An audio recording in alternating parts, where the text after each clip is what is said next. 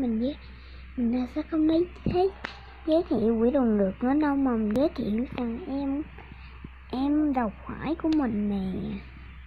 Nè nó bò lăn lóc luôn á. Chứ không phải mà nó bò lăn lộn đâu. Nào mình cho bạn coi cái mặt nó nè. Dễ thương không? Mặt của nó tròn vậy là nó tên bông á các bạn.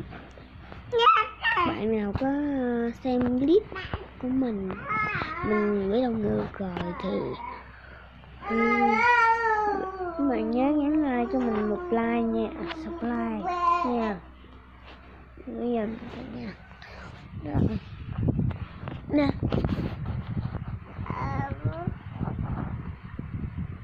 trời trời trời trời trời trời trời trời trời trời trời nè lăn lộn giống vậy đó tóc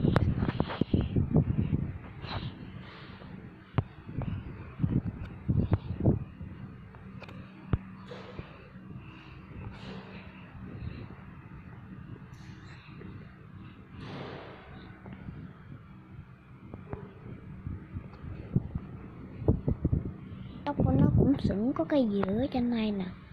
Nãy giờ mình không để ý cho các bạn xem.